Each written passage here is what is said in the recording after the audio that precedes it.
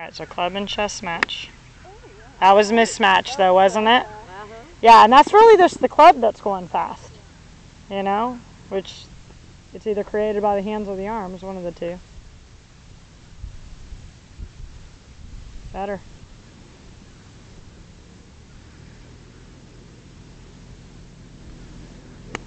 Much better. Wasn't that easier on the downswing? Like you knew where that club was when you hit it, didn't you? That was pretty cool.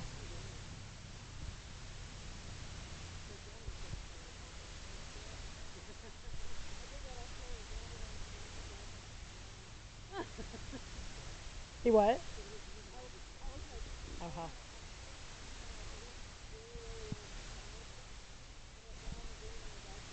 Aww. Little fast, right?